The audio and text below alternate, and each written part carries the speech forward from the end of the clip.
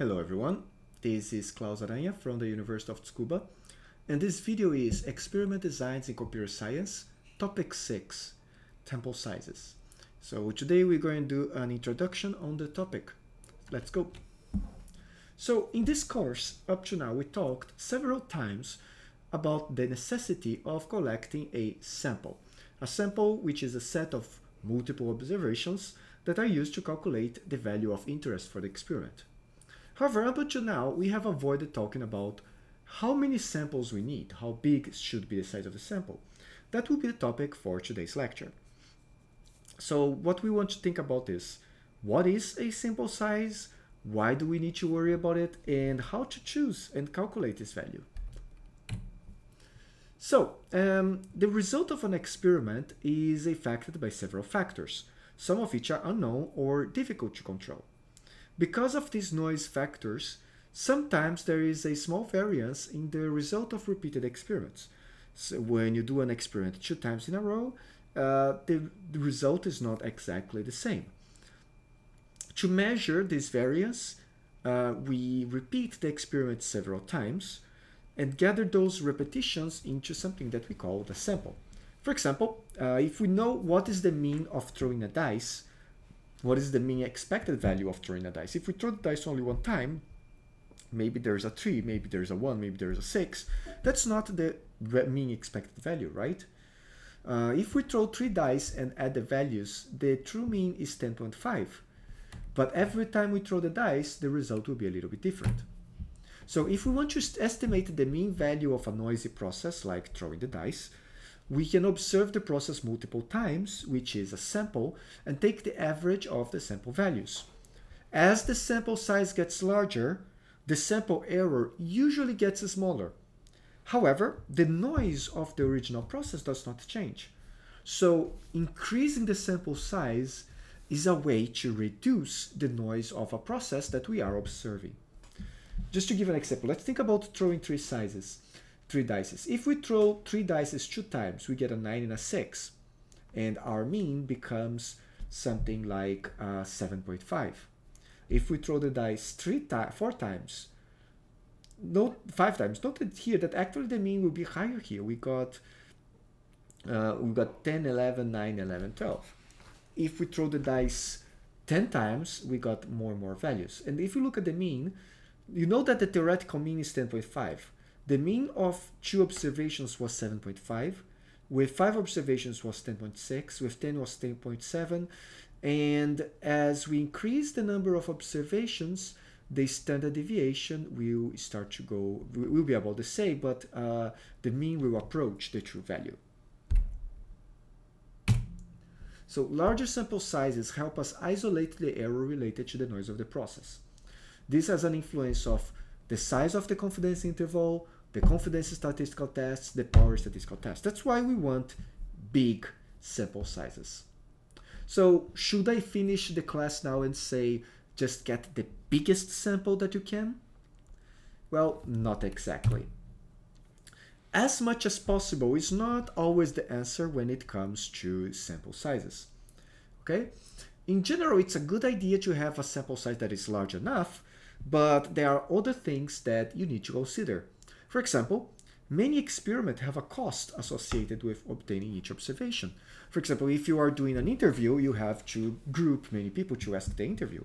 If your, if your ex experiment has a monetary cost, for example, if you're running a computer experiment, there is an electricity cost. There is also a time cost. Maybe you have like a final report that you have to submit by the end of the month. Hmm?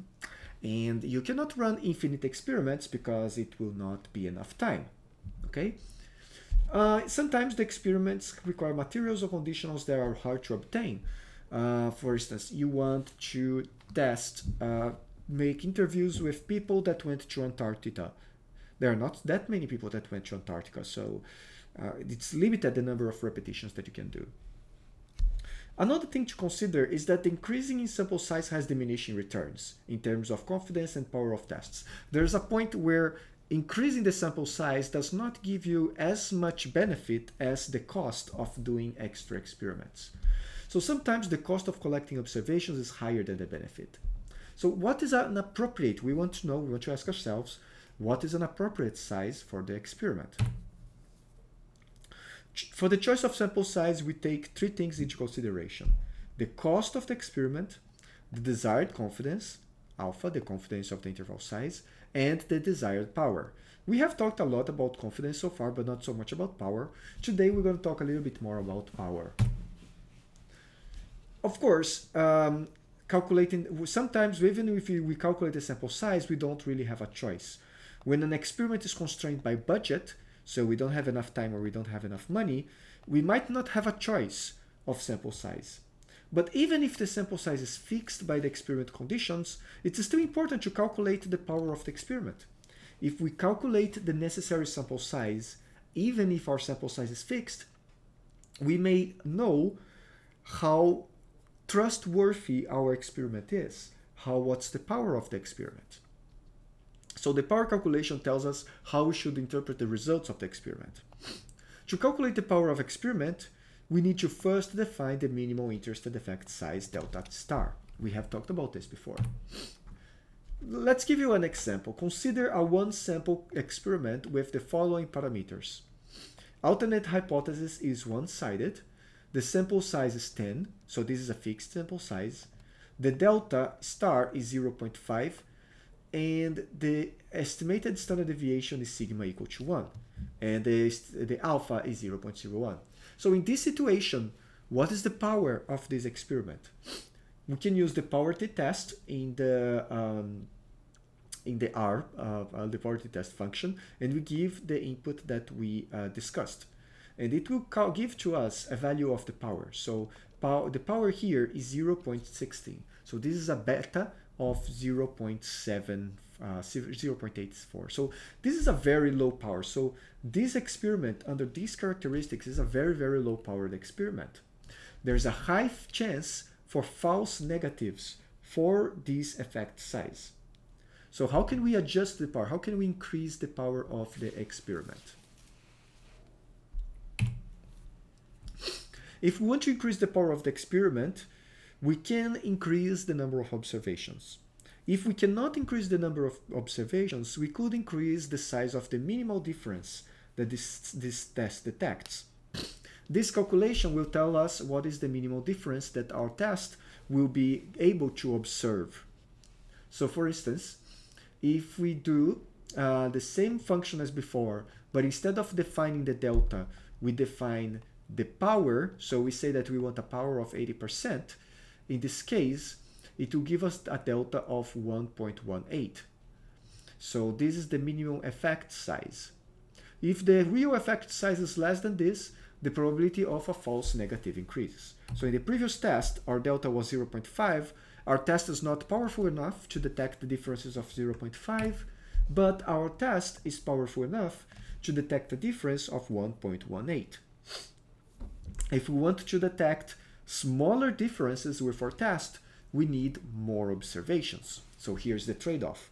Do we want to detect smaller differences or do can we do more observations? So using power calculations, we can obtain an estimate of the type 2 error probability. This gives us a better understanding of the ability of an experiment to detect effects of interest. The statistical test will have lower power for differences smaller than delta, but these differences are below the minimal interesting effect, so any effect greater than delta will result in a higher power for the test. So this is a technique that is useful to calculate the sample size for the experiment, which we're going to talk about in the next video. See you there.